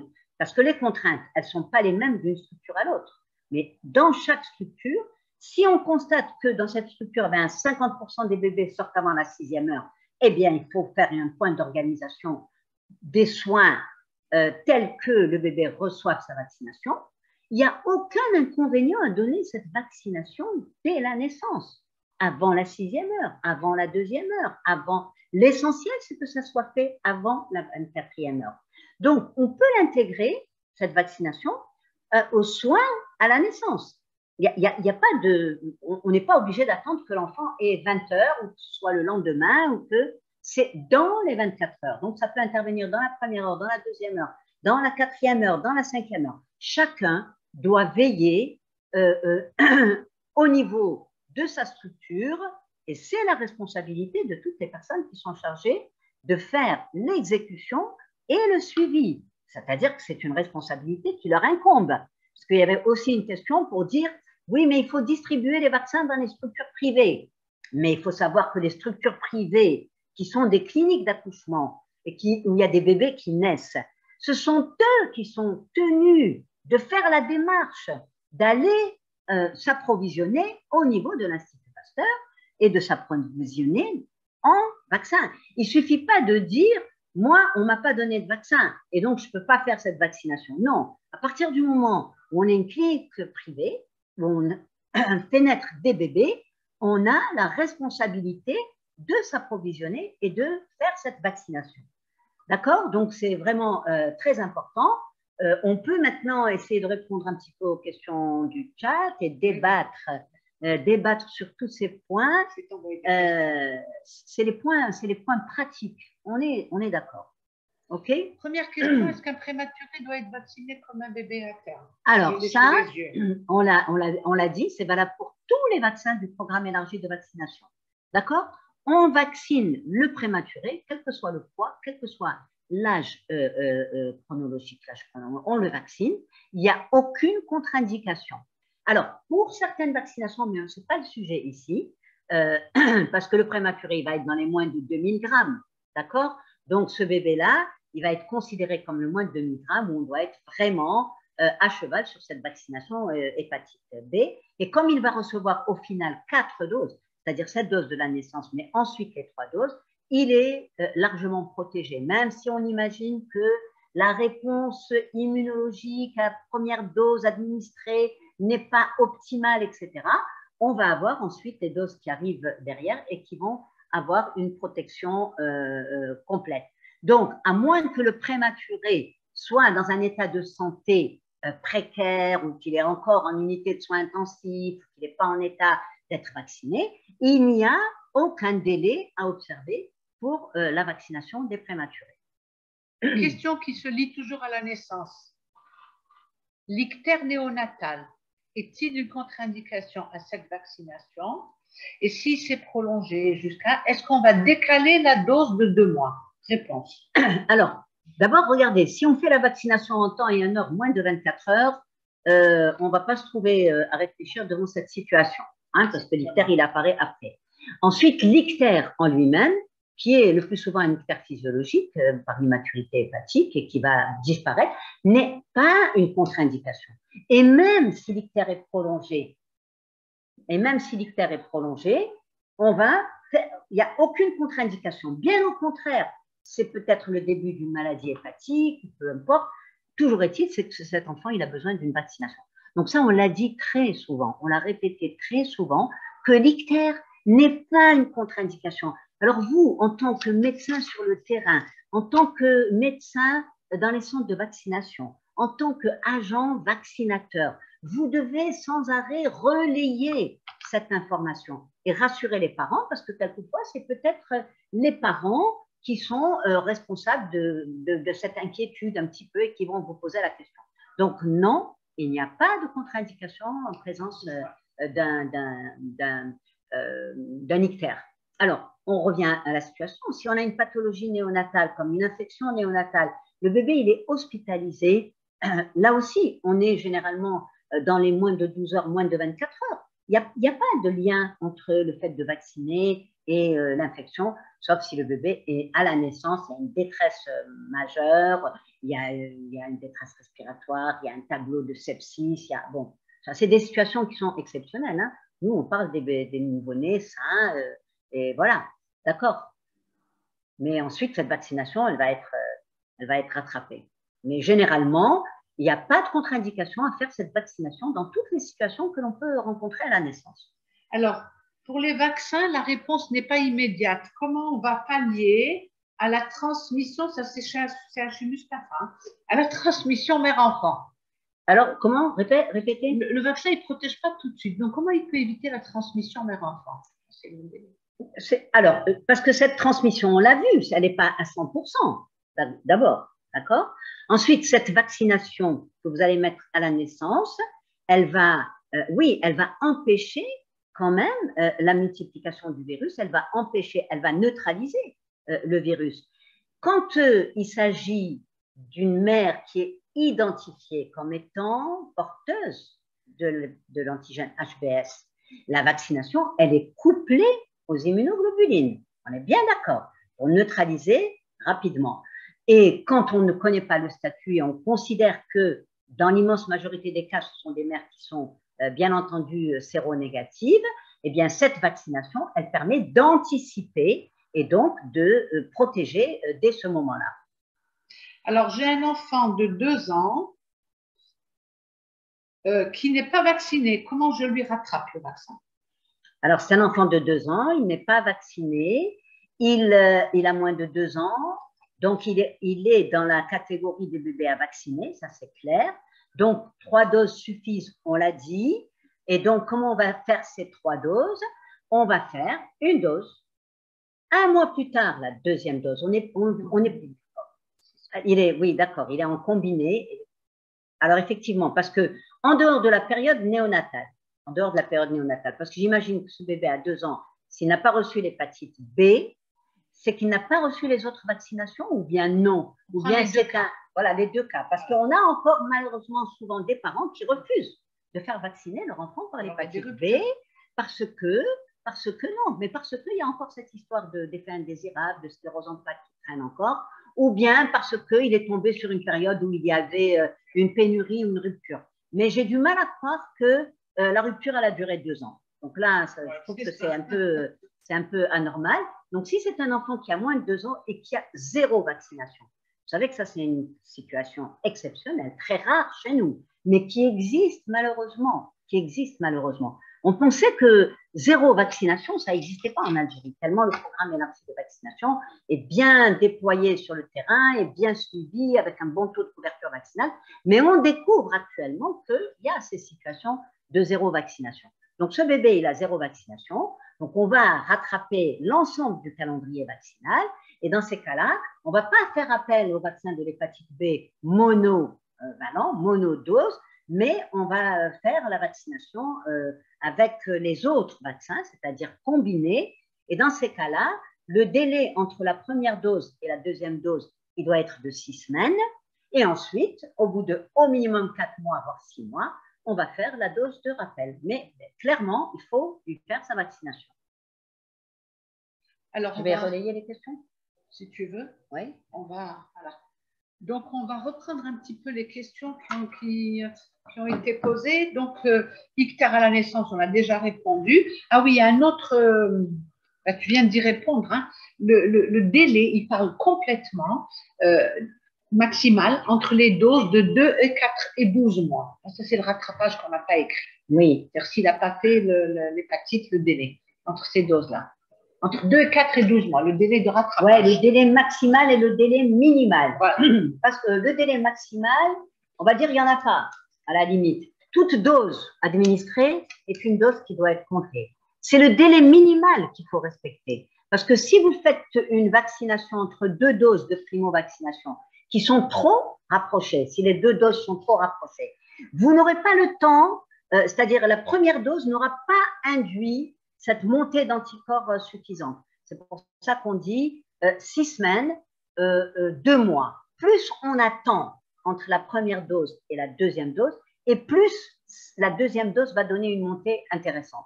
Donc, on dit six semaines, deux mois, et si on est au-delà de cela, il n'y a pas de, on va pas, euh, délai maximal. On considère que cette dose a été donnée, on va donner la deuxième dose, et ensuite on fera euh, le, le rappel. Al-Ater, ça fait deux fois que vous dites voulez-vous envoyer votre question? On attend votre question, Bir al-Ater. Alors, ça, on a répondu. Alors, si après quatre doses, le taux d'anticorps est en dessous de 10, et là, il faut se poser la question de l'immunité de la personne. hein. Parce qu'en principe, en principe, c'est une vaccination qui est efficace. Donc, ça ne sert à rien. Euh, on peut refaire la vaccination, évidemment, ça peut arriver des moments qu'il n'y a pas de contre-indication à refaire, mais la vraie question de quelqu'un qui n'a pas répondu, parce que cette question elle est retombée plusieurs fois, c'est de vérifier son statut immunitaire, parce que vous savez bien que les personnes chez lesquelles on pense à un problème de l'immunité, euh, la première façon de savoir si euh, ils ont un problème d'immunité, c'est qu'on leur donne des anticorps post-vaccinaux, dont le vaccin de l'hépatite B, de la diphtérie, d'accord, pneumocoque. Donc, s'il n'a pas répondu, c'est la première chose à faire. Et après, si on s'est assuré que la personne, on peut revacciner, bien sûr, mais, mais c'est plus, c'est pas le vaccin qui est important, c'est le statut de la personne immunitaire qui, euh, qui va être important à ce niveau-là. Donc, on a répondu. Oui, alors, s'il vous plaît, on ne va pas nous vous faire tout de suite, on va vous dire, ça sort de nos prérogatives pour euh, Illizi, le PSP Illizi, un mot sur la place du fibroscan chez les mères porteuses d'hépatite chronique. Vous savez qu'il euh, y a eu la journée mondiale de l'hépatite qui a été célébrée hein, en présence de Monsieur le ministre au niveau d'Alger, euh, qu'il y a un guide sur les hépatites chroniques qui a été édité par un comité d'experts, euh, parmi lesquels il y a des pédiatres, hein, notamment le professeur Belbouem, et euh, il y a toutes ces recommandations et nous, on ne se permettra pas, aujourd'hui, on parle de la vaccination, de vous donner une indication, parce qu'au-delà des indications théoriques, chaque pays choisit un petit peu ce qu'il décide de faire, pourquoi, etc. Donc, si vous ne l'avez pas, moi, je vous conseille de vous rapprocher de, du ministère de la Santé, de demander à travers vos DSP, il y a un guide qui vient d'être édité en 2022, de le demander et de vous conformer à ce qu'ils ont décidé au niveau du ministère. hein. Il y a le PSP de bon, Milia, il dit juste merci, il n'y a pas de quoi, la ala. Si la CRP et la bilirubine sont élevées, est-ce qu'on vaccine l'enfant ou est-ce que c'est une contre-indication? Il n'y a pas, a a pas de contre-indication à la vaccination. CRP euh, positive et bilirubine élevée, vous lui faites sa vaccination. La seule fois où on ne vaccine pas un bébé, c'est un bébé qui est en situation infectieuse aiguë, euh, urgente, de déséquilibre euh, hémodynamique. On ne va pas faire la vaccination, là, évidemment. Mais en dehors de ces cas, non, vous faites la vaccination de ces bébés. Euh, on a répondu. Alors, il y a d'autres questions. Il y a quelqu'un qui pose la durée de vie du virus d'hépatite B à l'extérieur du corps. C'est au moins 7 jours. Euh, L'incubation, c'est 30 à 80 jours et dans le corps, il peut rester 1 à 2 mois. Je ne sais pas pourquoi, mais voilà. Alors, y a, par contre, il y a une belle question sur vaccin hépatite B pédiatrique, donc 10 microgrammes, et adulte, c'est-à-dire 20 microgrammes. Les limites d'utilisation. Alors, limite d'utilisation des vaccins pédiatriques et adultes, c'est comme l'âge tel qu'il était prévu, c'est-à-dire 16 ans. Et donc, on utilisera le vaccin pédiatrique jusqu'à 16 ans et le vaccin adulte au-delà. Mais il y a une petite frontière entre 11 et 16 ans où on peut utiliser l'adulte, mais on va réduire les doses. C'est des cas exceptionnels. Mais vous retenez, voilà, c'est 16 ans, de, moins de 16 ans jusqu'à 15 ans révolus et 16 ans et plus. D'accord? Ça, c'est une euh, dose. Donc, je reprends les questions. Il y, avait une question sur les professionnels de santé. Première question. Vas-y, vas-y, c'est toi qui les as notées. Moi, je continue à noter Il y a une collègue qui a dit les médecins qui ont reçu les trois doses de vaccin. Oui. Mais ah, il y a 20 ans.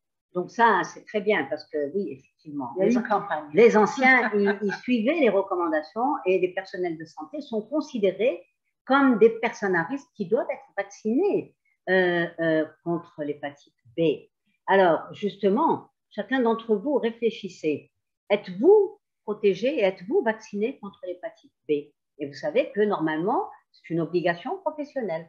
Ça fait partie de, euh, au moment de euh, l'embauche dans une structure de santé pour un personnel de santé, soignant, de laboratoire ou autre, c'est une vaccination qui est obligatoire. Donc, euh, cette personne nous dit, ce médecin, il a reçu plus de trois doses de vaccin, mais il y a 20 ans. Est-ce qu'il est toujours immunisé? Est-ce qu'il lui faut d'autres doses? En principe, non, il est immunisé. On l'a dit, c'est une protection qui est une protection euh, euh, qui se prolonge euh, la vie durant. Et s'il n'a pas de facteur de risque tout particulier, bon, en dehors du fait qu'il est personnel soignant, il est parfaitement protégé. Alors, un autre point, si on est personnel soignant, on a été vacciné, on se considère comme protégé, mais par exemple, on est personnel soignant dans un centre d'hémodialyse, par exemple, bien, on va vérifier son taux de, éventuellement, on fait une sérologie pour vérifier si, euh, on, est, euh, si on est protégé. Il y avait une autre question aussi au départ sur euh, une belle question Oui, parce que ça. Bah oui, c'est pas contre-indiqué. Alors, les effets indésirables, la tolérance de la vaccination, du vaccin contre l'hépatite B. Alors, la tolérance, toutes les études de tolérance et de safety ont montré que euh, le vaccin contre l'hépatite B est bien toléré. On l'a accusé euh, à tort, rappelez-vous, euh, dans les années 2000, d'être responsable de l'apparition de la sclérose en plaques et des maladies, de maladies auto-immunes. Alors, ça a été euh, euh, repris dans certains pays, pas dans d'autres. Euh, il y a des pays qui sont à tradition de vaccination, de programmes élargis de vaccination très robustes, avec une bonne communication et avec vraiment un suivi et couverture vaccinale, communication, où il ne se passe jamais rien, où les vaccinations sont bien, bien acceptées par la population. Et il y a d'autres pays où, à chaque fois qu'on parle d'un nouveau vaccin, bien, il y a une levée de bouclier et il y a euh, tous euh, euh, les, on va dire, les antivax qui se saisissent pour retrouver des effets indésirables à ce vaccin. Ça a été le cas pour le vaccin de l'hépatite B en France, parce qu'à ce moment-là, on a voulu vacciner les adolescents. Et vous savez que la sclérose en c'est une maladie qui se déclare chez l'adulte jeune, voire l'adolescent, chez l'adulte jeune. Et il y a eu cette on va dire, cette cette coïncidence, cette concomitance qui a fait que le vaccin contre l'hépatite B a été incriminé dans euh, euh, l'apparition de cette sclérose en plaques. Depuis, eh bien, il y a eu euh, de multiples, multiples, multiples publications qui ont définitivement écarté ce risque.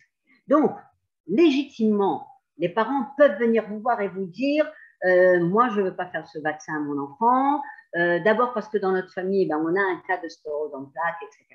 C'est tout le rôle du médecin de faire cette communication euh, avec euh, toutes les informations bien documentées, scientifiques et rigoureuses pour expliquer que entre le risque de faire une hépatite B, puisqu'on l'a bien vu, c'est une maladie silencieuse.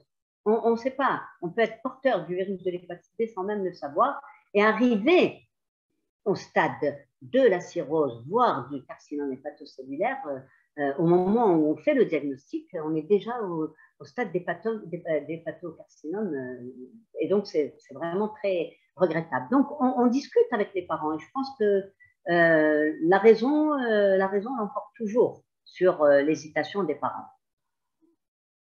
Alors, il y, a une question, le, DSP d'Alger. Est-ce que vous pouvez nous préciser, ça va nous intéresser, on va vous en toucher un mot après, sur, vous dites, les médecins de santé scolaire demandent des orientations par rapport à la vaccination au milieu scolaire, précisément sur l'utilisation du DT pédiatrique, DSP d'Alger. Qu'est-ce que vous voulez dire? Il va y avoir une formation, mais quelle est votre interrogation? Parce qu'on va vous faire la, vaccination en milieu scolaire, comme on a l'habitude de le faire chaque année, avec euh, la direction de la prévention, M. Talkani, Mme Bousmaha. il est prévu de le faire, mais s'il y a une question précise sur ce point qui n'est pas l'objet d'aujourd'hui, mais c'est les mêmes personnes, veuillez nous le signaler juste par écrit, on va le prendre en compte. Euh, vous dites un bébé de 7 ans, un enfant de 7 ans, qui n'a pas jamais été vacciné, euh, comment faire? D'abord, ça, c'est l'exception de l'exception. La première chose à faire, c'est que, elle vous l'a dit, Madame Boukari, c'est jamais tard pour rattraper, simplement s'il est, il est plus considéré. Il n'y a pas de rattrapage systématique. Si les personnes euh, à risque, il y avait quelqu'un qui a une hépatite, il n'y a pas de, contre-indication à, rattraper, mais il n'est pas prévu dans notre calendrier de rattraper tous ces gens-là en termes de doses pour qu'elles soient prévues. Mais la vraie interrogation, de quelqu'un qui vit en Algérie, qui jusqu'à l'âge de 7 ans n'a eu aucun vaccin, il faut se poser des questions du pourquoi. S'il est malade, il faut investiguer. Si les parents sont si démissionnaires, eh ben, il faut les, sensibiliser. Si, voilà, au-delà du rattrapage de la dose.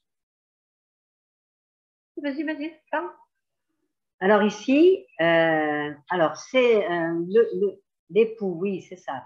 Oui, non, c'est-à-dire ça, c'est nous, on reste sur la vaccination. Aujourd'hui, l'objet de, cette euh, discussion et, de cet échange, c'est vraiment de remettre en perspective cette dose à la naissance. Parce qu'on sait que euh, cette dose à la naissance, qui a un rôle primordial, qui est celui de euh, prévenir la transmission verticale de la mère à l'enfant, on sait que cette dose à la naissance, elle a été fortement malmenée ces derniers temps, pour de multiples raisons.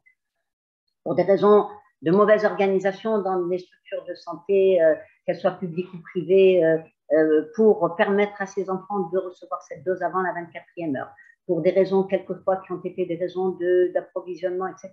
les, raisons sont multiples, mais le résultat est là. Le résultat est là. donc, il y, a, y y a ça qu'on doit redresser. Et donc, notre objectif aujourd'hui, c'est de discuter de ça. Mais vous avez raison, vous avez raison, c'est pas seulement cette dose à la naissance qui euh, résume à elle seule tout le programme euh, euh, de l'OMS contre l'hépatite B, pour replacer dans le contexte, ce programme, il englobe effectivement, dans le cadre de la transmission de la mère à l'enfant, le suivi de toutes les grossesses, la connaissance du statut sérologique des femmes enceintes, et ça c'est le rôle des sages-femmes, c'est le rôle des gynécologues et des obstétriciens, c'est le rôle de tous les personnels de santé qui ont, euh, à un moment ou à un autre, euh, à voir euh, ces femmes enceintes et qui doivent leur recommander de évaluer leur statut sérologique. Ça, c'est très important. Et enfin, c'est de pouvoir avoir à disposition les moyens de faire une sérovaccination dans les cas où la mère est porteuse de l'hépatite B. Et ensuite, dans une deuxième étape, ça sera la prévention de la euh, transmission horizontale, c'est-à-dire celle qu'on va acquérir dans l'enfance. Et on a bien compris que plus on est jeune, plus le risque de s'infecter est important et plus le risque de passer à la chronicité est important. C'est pour ça qu'on on va vacciner dans le calendrier vaccinal. Les, les dates qui ont été choisies, c'est 2 mois, 4 mois et 12 mois. Et enfin, il faut que tous les enfants aient au moins trois doses de vaccin contre l'hépatite B pour pouvoir être protégés. Une fois qu'ils ont ces trois doses, ils sont suffisamment protégés. D'accord?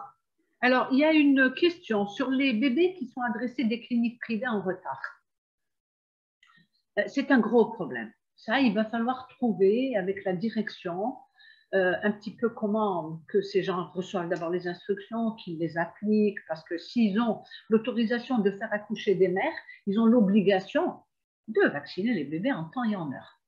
Alors, est-ce que vous avez le droit de refuser de vacciner un bébé orienté après l'âge de 7 jours de vie? Ce n'est pas une question de, refus d'avoir le droit.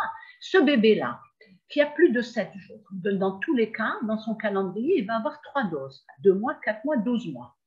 Donc, il sera protégé contre l'hépatite B d'une transmission horizontale après la naissance. Pour la transmission verticale, si ce n'est pas un prématuré, un enfant de moins de 2000 grammes, et si ce n'est pas un bébé de mère hépatite B, au-delà de 7 jours, le bénéfice de la prévention de la transmission verticale, il est dépassé. Donc, ce n'est pas la peine d'utiliser une dose pour ça, mais il faut qu'il ait ces trois doses. Par contre, cette clinique privée qui vous a adressé ce bébé, elle ne doit pas faire un seul bébé. C'est-à-dire l'intérêt, c'est de le ou de la contacter, mais peut-être que vous allez dire c'est pas mon rôle, c'est de faire le signalement à la DSP dont vous dépendez pour que la DSP sache qui est elle en charge de l'exécution des instructions, c'est-à-dire de les transmettre à toutes les personnes publiques et privées pour dire quelle clinique m'a envoyé au-delà. Et donc, contactez-la, peut-être qu'elle n'a pas reçu, peut-être qu'ils n'ont pas compris, faire le signalement et faire le feedback à cette clinique pour que cet exemple ne se reproduise pas. Voilà. Alors, il y a quelqu'un qui a posé la question, est-ce qu'on a le droit de faire la vaccination accélérée dans des situations exceptionnelles? Oui, la vaccination accélérée, c'est un cas exceptionnel de personnes qui doivent voyager. On a, il y a eu des étudiants, par exemple, on a été contacté par la prévention, par des euh, personnes qui devaient partir à l'étranger dans des pays où la vaccination était obligatoire, ils devaient avoir leur visa, euh, comme ici il dit, dans un bilan prénuptial. C'est une disposition qui, à titre exceptionnel, vous pouvez le faire, bien sûr. Nous, nous parlons du gros, c'est-à-dire le million d'enfants qui naissent et qui sont soumis à la vaccination la première année de vie. On voulait assainir la situation de la vaccination hépatite B dans ce cadre-là et que ce qu'on a dit soit un petit peu bien compris et qu'on l'applique tous. C'est ça le but de notre... Mais bien sûr, vous pouvez le faire, vous. Alors, il y a... Est-ce qu'après 40 ans, on peut vacciner? On peut vacciner à tout âge. Le problème, c'est que nous, il n'y a pas eu de décisions qui ont été prises par les, les, responsables de la vaccination qui sont en charge des commandes des doses de vaccins. Donc, les doses qu'on utilise, c'est des doses qui sont réservées pédiatriques pour le calendrier, pour le PEV, au-delà de pédiatriques pour les populations à risque que vous connaissez, dont les professionnels de la santé, les hémodialysés, les, les, personnes immunodéprimées, enfin, il y a toutes les personnes qui vivent dans des collectivités, les greffés d'organes, euh, etc., les personnes qui vivent avec une personne qui a l'hépatite B chronique, etc. Et donc, ces personnes, oui, elles vont être vaccinées, parce qu'elles font partie d'une instruction. Mais en population générale, pour tout individu qui n'est plus à risque, qui n'a pas une conduite à risque, qui n'est pas dans un environnement à risque, comme nous, les professionnels de la santé, qui n'a pas une maladie qui l'expose à un risque, en dehors de ça, il n'y a pas de disposition prise par notre pays. Donc, aussi, ça a été posé par un autre confrère qui dit que dans les PMI, est-ce qu'on rattrape en population générale? Pour l'instant, tant que ce n'est pas décidé, non. Par contre, il y a les instructions de 2013 et la note de 2013 et l'instruction de 2016. Vous pouvez vous y conformer et vous, vous êtes en droit de mettre à jour toutes ces catégories parce que c'est déjà instruit et ça a été consolidé par la signature de l'Algérie en juin 2022 quand elle a adhéré au plan mondial d'élimination des hépatites. Donc là, oui, vous pouvez le faire. Mais en population générale, non, non, c'est pas, c'est pas prévu, c'est pas dans ce contexte-là. Donc on reprend les questions. Je pense qu'il faut profiter du document, euh, bah, du guide qui a été euh, fait euh, à l'occasion de la Journée mondiale contre l'hépatite, l'hépatite d'une façon générale. Et donc dans ce document, vous avez tous ces points-là les personnes à risque, les schémas vaccinaux, quelles sont les différentes populations, elles sont identifiées, elles font partie de ce programme. Et donc, c'est à nous, médecins, d'appliquer justement, d'abord d'informer ces personnes, ensuite de les protéger. J'en veux pour preuve que euh, les, médecins qui suivent des, patients hémophiles, des patients dialysés, des patients insuffisants rénaux, des patients qui ont des, hémoglobinopathies qui sont euh, transfusés sur une base régulière, etc., etc., toutes ces personnes, oui, sont des populations cibles pour la vaccination contre l'hépatite B, selon le schéma, comme on l'a dit tout à l'heure, de deux doses à un mois d'intervalle et ensuite une troisième dose de rappel à six mois. Au-delà de sept jours, est-ce qu'il faut faire une sérologie pour vacciner un bébé? Ah ben non. Non. Donc, ça, définitivement non.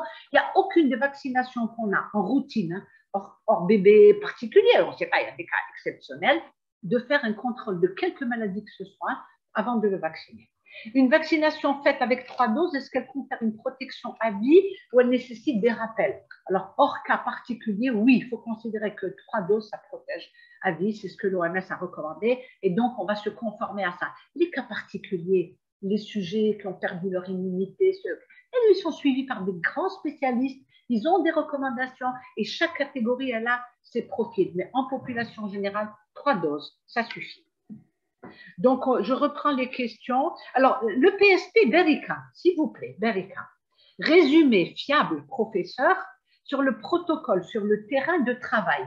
Si vous parlez de la médecine du travail, on n'a pas de recommandation à vous donner, si ce n'est de mettre à jour ces populations avec trois doses, 0, 1 et 6 mois. Les personnes qui sont à risque dans votre professionnel de santé, professionnel de la santé, c'est-à-dire ceux qui sont à risque, qui font partie des populations à vacciner. Oui, maintenant, en euh, santé, euh, c'est-à-dire euh, des bébés, les bébés, c'est ce qu'on vient de donner comme recommandation, c'est quatre doses. Si la dose de la naissance a été ratée, jusqu'à 7 jours, on la rattrape et on poursuit jusqu'à un mois pour les enfants de moins de 2 kilos et les enfants de mère hépatite B. Voilà ce qu'on fait aux bébés. Et quand on a fait, pourquoi on a limité à un mois? Le rattrapage Parce que au-delà, pour la prochaine dose de deux mois, le délai entre un mois et deux mois, c'est le délai minimal entre deux doses et que après, on le répète encore, la dose de deux mois ne sera pas décalée parce qu'on a fait un rattrapage jusqu'à un mois. Alors, je reprends peut-être quelques questions. Vas-y, Madame Boucaris, tu les as. Ou alors, voilà. Non, je crois qu'on a, fait, le tour. Reviens là, on peut voir le chat ici, là, maintenant, direct, puisque, voilà. Est-ce que vous nous voyez toujours? Est-ce que vous... Euh, C'est bon. Je pense que... On vous écoute toujours? si vous avez encore quelques petites questions, on va, on va y répondre. Euh, voilà. Ça se veut être une séance courte de une heure pour qu'on repasse ensemble et qu'on mette au point les, aspects pratiques. Je sais que la ah préoccupation, c'est justement c'est les aspects pratiques.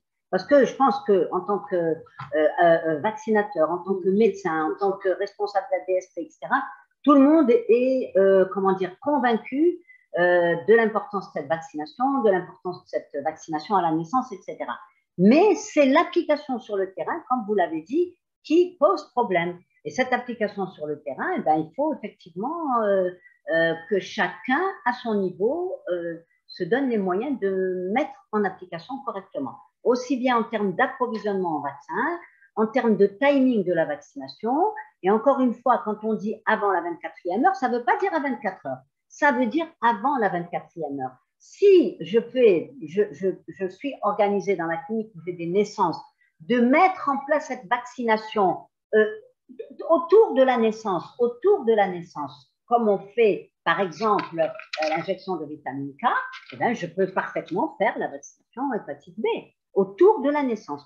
L'essentiel, c'est qu'avant que le bébé ne sorte, je m'assure qu'il a reçu euh, cette vaccination au même titre qu'il a reçu la vaccination euh, contre le BCG, euh, évidemment, bien sûr.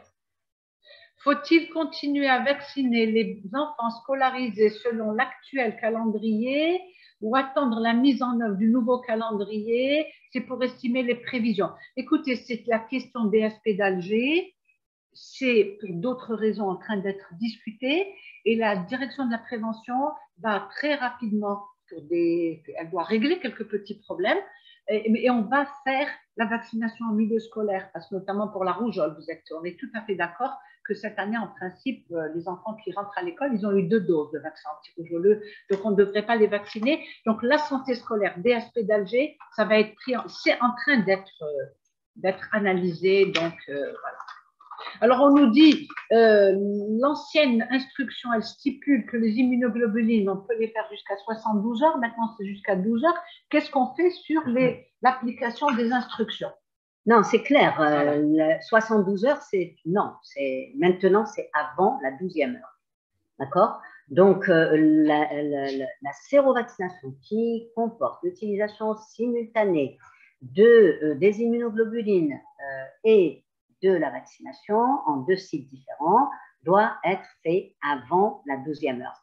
Donc, 72 heures, c'était 2016, c'était l'instruction. Je pense que effectivement, c'est, il faut plus tenir compte. Vous savez que quand il y a une nouvelle instruction, elle abroge la précédente. Hein D'accord? Donc, il faut euh, bien entendu, tenir compte de cette dernière, euh, cette dernière instruction.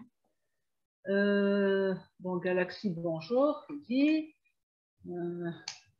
Euh, un nombre maximal de doses à ne pas dépasser contre l'hépatite durant toute la vie. C'est trois doses. Pour être prêt, c'est pas une question de dose, oui, dose nombre de doses, c'est un schéma qui est choisi, un schéma qui a trois doses c'est parce qu'il protège à trois doses. Ce n'est pas une question de que ça va le surimmuniser. Non, mais c'est qu'on va vacciner, on va perdre des, doses euh, de vaccin. En médecine du travail, en cas de retard entre la première et la deuxième dose, il n'y a, a, pas de limite supérieure. Euh, oui, ah, il y avait une question, ça me rappelle. Donc, deux questions sur ça. Euh, on a dit qu'il y a des limites inférieures en dessous desquelles il ne faut pas descendre. Et entre deux doses, la première et la deuxième, on ne descend pas en dessous d'un mois parce qu'il faut laisser le temps au système immunitaire de fabriquer des lymphocytes B qui sont là et qui sont prêts à agir à une deuxième dose pour remonter un taux qui sera consolidé par une troisième dose qui est une dose de rappel. Donc c'est 0, 1 et 6 mois. Donc ça veut dire que c'est minimum un mois et 5 mois entre la deuxième dose et la dose de rappel. Maintenant, il y a eu une question là qu'on n'a pas reprise. Est-ce qu'il y a un délai maximal? Il n'y a pas de délai maximal. Il faut rattraper les doses nécessaires sans refaire, et c'est ça la question qui avait été posée tout à l'heure, sans refaire à zéro la vaccination. Toute dose qui a été faite compte. C'est-à-dire il lui faut trois doses, il a fait une dose, il lui reste deux doses à rattraper. Il doit faire trois doses, il a fait zéro dose, on lui fait trois. Il a fait deux doses, il lui en manque une. Mais on ne perd jamais le bénéfice d'une vaccination antérieure. Hein. Alors oui, une personne qui a reçu trois doses, qui a eu un titrage des anticorps qui est négatif, qu'est-ce qu'on fait? Là, là, on l'a dit, si cette personne n'a pas répondu, il faut se poser la question de son terrain. Donc, ce n'est pas une question de lui refaire, mais ça peut arriver. Il y a des personnes pour lesquelles il faut refaire la vaccination. Euh, faudrait-il vacciner les enfants scolaires? Bon, ça, on l'a répondu. Prière de nous envoyer la communication. Merci d'avance. Il n'y a aucun problème. C'est l'instruction telle qu'on l'a reprise. Il faut lire l'instruction. Il faut lire les instructions. Je m'excuse d'intervenir comme ça, mais, c'est une réalité. Euh, combien de personnes lisent les instructions? Euh, Je veux dire les personnes qui sont sur le terrain. Euh, je ne parle pas de ceux qui sont chargés d'envoyer euh, pour exécution, euh, exécution et suivi, mais je parle par exemple, on va dans un centre de vaccination, on peut aller là maintenant à n'importe quel moment et on va demander aux agents vaccinateurs, est-ce que vous avez lu l'instruction? Eh bien, souvent, non. Les gens ne... Il faut lire les instructions parce que le contenu de l'instruction détaille toutes les étapes. Et il faut euh, absolument euh, commencer par cette lecture attentive de l'instruction. Alors, dedans. Euh, une péricultrice, hein, Myriam Ben Sadoun, qui pose la question qu'elle a vacciné un bébé, qu'il a toujours des anticorps négatifs et tout. Celui-là, il faut l'adresser à un pédiatre pour qu'il le voit. Il n'y a pas de raison qu'il ne fasse pas d'anticorps, ce, petit. Hein. Donc, il faut l'explorer et pas le re-re-re-vacciner. Hein. Nous avons reçu les instructions, elles sont sous nos yeux. Et Ayn Azel, il a bien dit que euh, on a on a les vaccins, il est en monovalent et si on s'organise bien, on peut bien, travailler. On vous remercie pour avoir lancé ça, même si dans la pratique, on est des gens du terrain, nous on vient pas, on n'est pas de, l'administration, hein, n'est pas du ministère, hein, vient de nos hôpitaux, on voit des malades tous les jours, on sait que l'exercice est difficile, on sait que, mais la vaccination, pour l'hépatite, elle a un temps où on peut la faire. Donc, euh, nous, on a voulu se réunir euh, là pour mettre à jour tout ça. Et vous allez remarquer que pour la première fois, on ne nous a pas fait une communication en lutte. On a pris, on a préféré, alors dites-nous si ça vous convient comme ça pour les prochaines fois, euh, reprendre l'instruction et chaque étape, c'est exactement ce qu'il y a dans le contenu de l'instruction, euh, qu'on a repris euh, pour justement que vous lisiez l'instruction et vous avez l'explication. Lire l'instruction et vous avez la, recommandation. Ah, chez la mère archivée et tout. Écoutez, tous ces cas-là, ils sont l'insuffisant, l'hémodialysé, l'insuffisant rénal. Ça, c'est des cas particuliers qui sont prévus dans le guide hépatite B chronique. Tous ces cas, ils sont prévus. Euh, ces gens-là, comment ils sont traités, etc. Il y a quelqu'un, donc, euh, vous conformez à ça. Euh, EPSP Ain Habid dit oui, c'est beaucoup mieux comme ça de reprendre l'instruction. C'est ce que les gens disent que. Il dit oui, c'est l'idéal. Et eh bien très bien, parce que comme ça, ça nous. Euh, voilà. Ah oui, c'est très intéressant cette façon interactive.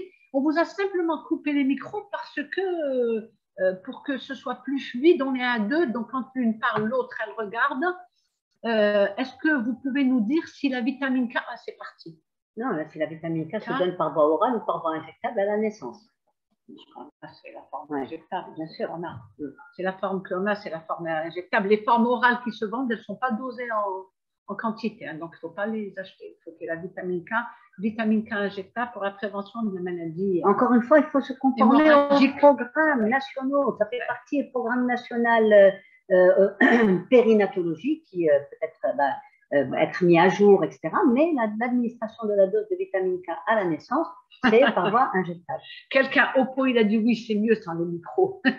on est à l'aise parce qu'il n'y a pas d'interférence. Merci à vous. On, s'améliore grâce à l'interactivité. Vous êtes nombreux. Vous êtes encore combien là? Euh, connectés 311. 311 connectés. 311 points de connexion. Donc, c'est très, point très de bien. Voilà, point de connexion. On espère que... tout le monde est vraiment bien connecté. c'est ça. Que tout le monde est connecté. Euh, bah, je crois que s'il n'y a plus de questions, euh, nous, on est encore là. Rattrapage du calendrier vaccinal de l'hépatite B chez un enfant qui a plus de deux ans. On vient de, on a déjà répondu on vient de le dire, Madame. tu veux le répéter? On a répondu à la question en moins de deux ans. On a dit soit il a, il a, il a eu simplement, soit c'est simplement qu'il n'a pas eu euh, le vaccin euh, hépatite B, mais, ou alors il n'a pas eu l'ensemble des vaccins. On reprend la vaccination et on fait un calendrier de rattrapage. Euh, calendrier de rattrapage, c'est un enfant qui doit recevoir trois doses de tous les antigènes euh, du, père. Une primo-vaccination de deux doses et un rappel six mois plus tard. Donc, s'il n'a reçu zéro dose, eh bien, il doit recevoir les deux doses de la primo-vaccination avec entre l'intervalle entre les deux doses de six semaines puis ensuite le rappel six mois après. Et ensuite, on doit effectivement euh, inscrire ça sur son carnet de santé, etc. Mais là encore, on vous dit que justement, comme on sait, avec cette baisse de la couverture vaccinale, on voudrait peut-être conclure là-dessus d'ailleurs, cette baisse très importante de la couverture vaccinale.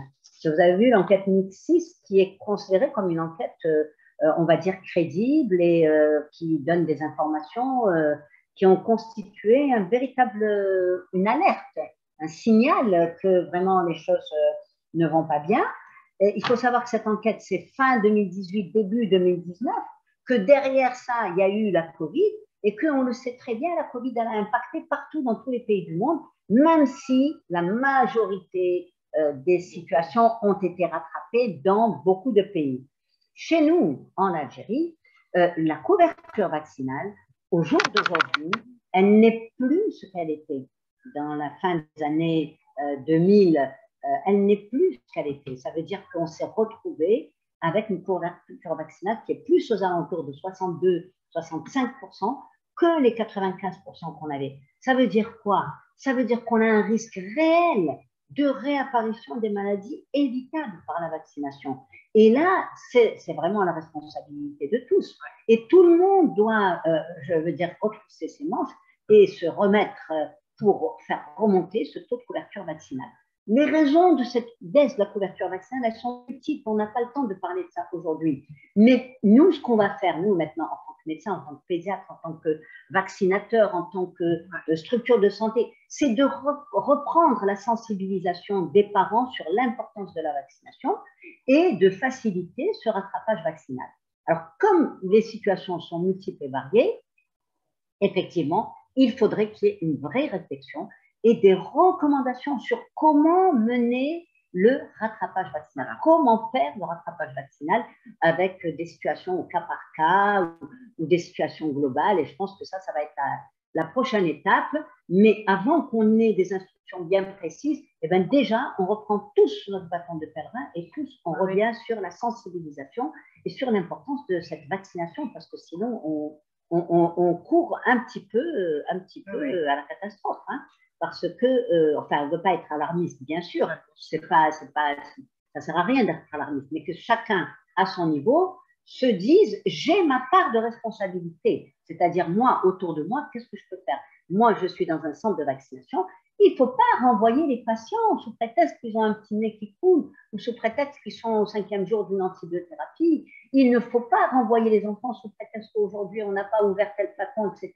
On espère que tous ces problèmes vont être levés avec une plus grande facilité euh, d'utiliser des vaccins monodoses plutôt que des vaccins multidoses toutes ces raisons-là, je pense, en 2023, on l'espère, vont, euh, ces difficultés vont être levées et qu'on va pouvoir euh, remonter notre couverture vaccinale euh, parce que les effets d'une baisse grave de la couverture vaccinale ne vont pas tarder à se faire ressentir. Le Covid va disparaître, la dette immunologique va réapparaître et on va se retrouver avec tous ces enfants qui n'ont pas été protégés pendant cette période et qui vont possiblement parce que euh, bah, les agents microbiens vont se remettre à circuler, être susceptibles d'être euh, euh, infectés et, d'en payer le prix malheureusement le plus fort. Alors, pour que cette, cette rencontre, hein, qui a réuni plus de 300 points, soit efficace, vous qui êtes là, qui avez partagé, qui avez été très actif, dans vos différentes rencontres, quand vous faites vos journées, là, avec la levée de Covid, il y a plein de rencontres, plein de journées, plein d'occasions, déjà dans vos services respectifs. Réunissez tout le personnel. Ne dites pas celui-là, il n'est pas concerné. Il peut être concerné en tant que parent, il peut être concerné en tant que consultant, etc. Donc, ces personnes-là, euh, faites-leur la mise au point. Aujourd'hui, on va parler de la vaccination d'hépatite, des mises au point dans nos structures, chacun dans sa structure. Hein qui reçoit les pertes de, de nouveau-nés, nouveau-nés, ceux des centres de vaccination, etc. Faites cette mise au point. Profitez des rencontres que vous avez pour faire des petits euh, points minutes, des euh, flash infos sur la vaccination, mais intégrer la vaccination comme une activité qui actuellement doit faire partie de chaque rencontre, parce que comme l'a dit Madame Boukari, notre couverture vaccinale, elle a atteint des seuils alarmants. Et vraiment, on court le risque de voir des épidémies pour les maladies les plus contagieuses ou alors euh, une propagation et on va en payer le plus cher dans 10 ans, 15 ans, 20 ans si on ne le paye pas tout de suite. Donc voilà, je pense qu'on a épuisé les questions. Euh, en tout cas, on vous remercie de toutes vos questions, de votre interactivité et euh, en tout cas, on vous, donnera, on vous donne le rendez-vous très prochainement parce que ce sera la santé scolaire, je pense, la prochaine rencontre quand quelques points techniques seront réglés. Euh, Madame Boucaria, elle me signale quelque chose. Alors, vas-y, je ne lis Voilà, c'est une question qui a été posée deux fois, effectivement. On ne l'a pas occultée, non, non, pas du tout. Mais bon, comme on voulait se concentrer sur euh, la dose à la naissance, mais la question est reposée. Je reprends ma question aspect pratique. Pour un couple le bilan prénuptial, l'homme était positif ah. hépatite B. La conjointe, elle, elle est correctement vaccinée et elle a reçu trois doses de vaccin. Actuellement, euh, ce couple-là, il est un petit peu en errance diagnostique parce qu'il fait le tour de tous les médecins pour avoir une réponse claire. Est-ce que euh, la conjointe est en risque? Est-ce qu'elle est protégée? Est-ce qu'elle est immunisée? Donc la question, c'est celle-là. Alors, la réponse, on a dit si la, si la, conjointe, elle est euh, protégée. Ben, elle est protégée contre euh, la vaccination. On ne sait pas, on n'a pas d'informations sur l'ancienneté, sur, euh, etc. À la limite, ce qu'on va avoir, puisqu'il y a un contact avec des, relations, donc avec des contacts des muqueuses, etc., c'est de regarder, de vérifier le titre de protection. Si le titre est bon, elle est immunisée.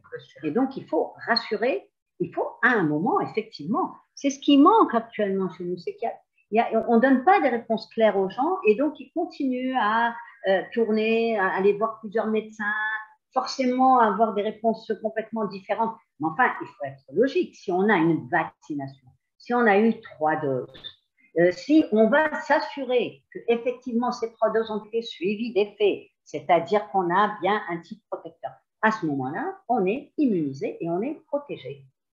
Alors, Évidemment, ça n'empêche pas qu'on va faire les règles de protection que vous connaissez pour éviter. voilà. Alors, euh, il ne faut pas vacciner que euh, protéger que l'épouse, hein, les gens qui sont autour aussi, hein, il va y avoir des enfants et tout, il euh, faut qu'ils soient vaccinés par contre.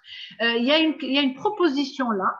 Alors, regardez, elle dit merci pour les efforts, mais simplement, ce qu'il faut, on peut faire ces réunions à partir de 19h parce que tous les gens sont sur leur lieu de travail et ça serait beaucoup mieux et utile. Alors, quelques petites réactions pour les, quelques, pour les personnes qui sont encore là. Hein. On en a perdu quelques-uns, c'est normal ils ont eu leurs informations. Est-ce que cette option-là vous convient? Est-ce que vraiment ça serait mieux si on se voyait euh, à 17 heures Oui, c'est-à-dire fin de journée. Oui. Est-ce que ça serait mieux? Répondez rapidement les différentes personnes qui sont là, oui ou non, oui ou non.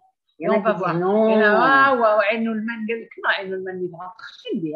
ouais, non, pas du tout. Pas, du tout. bon, donc, vous voyez, ça ne fait pas l'unanimité. Ça ne fait pas l'unanimité. Oui, dommage. Mais bon, en creusant, on va trouver des solutions qui conviennent à tout le monde. Il te dit s'il faut demander donc un titre des anticorps. Il repose la question, à hein, Madame Boukari ou. Euh, et donc, il donne un titre. Et si c'est bon pour leur vie conjugale, c'est bon. Ça me paraît bah, oui, bah, bien sûr, je pense, oui. Si le titre est bon, si elle est à 100, vous pouvez être sûr qu'elle est bétonnée. Euh, un enregistrement, on sera occupé à préparer le manger. Un oui. Bon, on ne veut pas avoir tous les détails de la vie euh, familiale. Exactement. Par contre, il y avait une question tout à l'heure et j'ai occulté la réponse. Quelqu'un qui a dit qu'une personne a éliminé l'antigène HBS, qu'elle avait un anticorps anti-HBC, est-ce qu'elle était contagieuse? C'est maintenant que ça me revient. Alors, cette personne, qui a éliminé l'antigène, elle n'est plus contagieuse. Mais pour savoir si réellement elle a toute la protection, demandez-lui l'anticorps anti-HPS, qui est toujours lié à l'anti-HPC. C'est deux informations qui sont complémentaires, l'une protectrice et l'autre d'assurer qu'il y a un anticorps anti-HBS en plus de l'anticorps anti-HPC. Donc, c'est les deux qu'il faut demander. Hein pour être sûr que, voilà, je reviens à la fin sur ça parce que ça m'est revenu quand il a parlé de cette euh, partie-là. Donc, je pense qu'on a fait le tour de vos questions. Euh, merci beaucoup à vous tous. Hein, pour, euh, il y en a une qui a dit non, ça ne nous dérange pas. Bon, donc c'est mitigé, donc peut-être qu'on fera pas le matin, plutôt l'après-midi, ça vous convient mieux? Ah ben voilà, il y a une très belle euh, euh, proposition. Est-ce qu'on peut faire une instruction sur les réponses qu'on a données qui n'étaient pas prévues et pas détaillées? Oui, on peut le faire. L'intégrer dans un manuel, dans un voilà, sur ces points-là. Alors, encore une fois, si la vaccination a été interrompue après deux doses, est-ce qu'on reprend? Non, on, reprend tout. Non, on ne reprend pas tout. On continue, on rajoute la troisième dose. Le corps, il a la mémoire immunitaire on, a, on continue la vaccination là où elle s'est arrêtée. Et ça, c'est un principe général. Ça vaut pour tous les antigènes du PEV. Euh, l'après-midi, c'est mieux. Donc, on prend note. Euh, nous aussi, ça ne nous, dérange pas. Donc, on proposera à la direction de la prévention de se réunir comme ça l'après-midi. C'est voilà, c'est un des points positifs de Covid, hein, c'est qu'on a développé ce moyen de communication, de pouvoir se parler rapidement à travers toute ce beau pays qui est le nôtre hein, euh, en direct. Donc c'est bon. Merci beaucoup. Donc on arrête euh, la connexion et à très bientôt. prochaine fois. Au revoir. Au revoir. Il y a quelqu'un qui a dit qu'il faut faire une plateforme pour accéder plutôt que le Zoom. Il a raison. Ils sont en train de faire une plateforme. Arrêtez. Arrêtez.